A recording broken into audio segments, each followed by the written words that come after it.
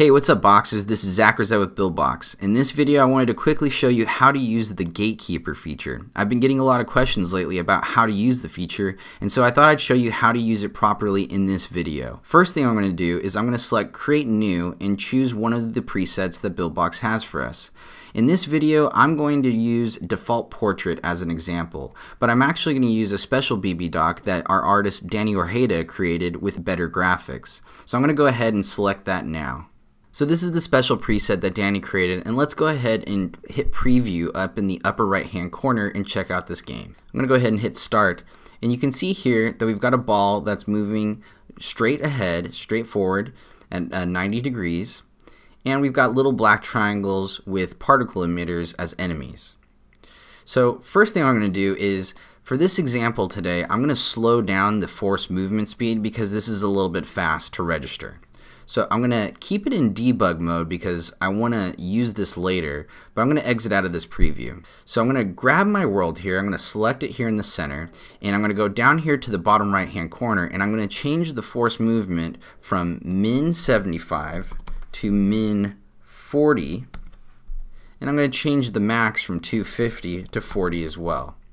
And I'm going to lower the increase to 0 instead of 2.5. Now let's go ahead and check the speed on that. So I'm going to hit play. I'm going to hit start and it's moving much slower now. So now this is going to be a lot easier for me to show you this example. So I'm going to exit out of the preview real quick and I'm going to double click on my world here in the center. Okay, so the first thing that you need to know about gatekeepers is that they work hand in hand with portals. So the first thing we're going to do is we're going to grab a portal and we're going to bring it out here into our scene. So I'm going to bring this portal right here dead center and so the character is going to go right into this portal and I'm going to create a couple other portals to work as an exit. So first thing I'm going to do is I'm going to put in about three or I'm just going to put in about two portals in here as the exit.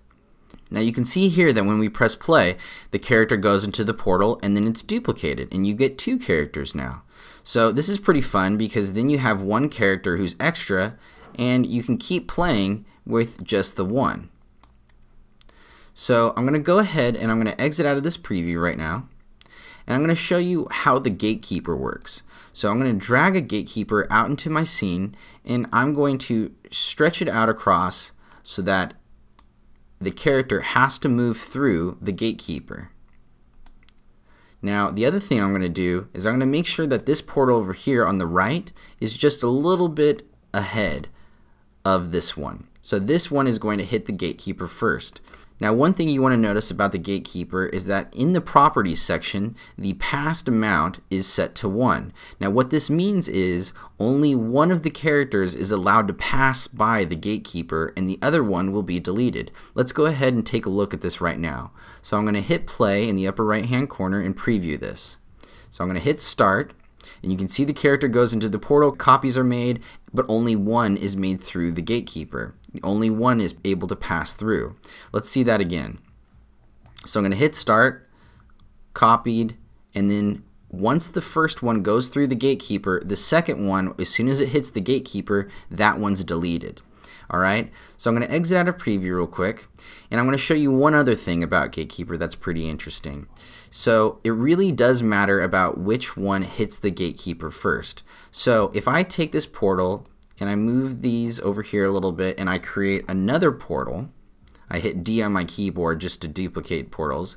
I'm going to make sure that this first one right here, when the character is copied and duplicated, and I'm going to make sure that this first character here in the center is able to get through, but these two are going to hit the gatekeeper and be deleted. Let's go ahead and take a look at that right now. So I'm going to hit start, copies are made, and then these two are dropped off because this character, this collision shape, went through the gatekeeper first so that is acceptable. So I'm going to exit out of preview and I'm going to show you if I take this portal and I move it back and I move this one over here on the left and I move it up in front of these two, now this one is going to be the one that passes through the gatekeeper.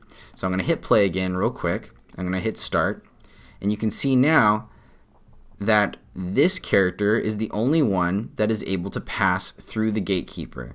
And so it's a pretty cool little feature. There's lots of ways you can use this in your game, and you can also set it so that more than one character is able to pass through the gatekeeper. Let's go ahead and select the gatekeeper and change the passed amount property to 2 instead of 1. Now I'm going to go ahead and hit play again and let's watch these first two, this one right here and this one right here, pass through the gatekeeper while this third one is left behind and deleted. So I'm going to hit play and start and now you'll see that two are able to pass through instead of just one. So that's a quick explanation of the gatekeeper feature. I hope you thought this was useful and I hope you find some creative ways to use it in your games. Alright everybody, if you like this video and you want to see more videos like this, then please like this video and subscribe to our channel. Like and subscribe.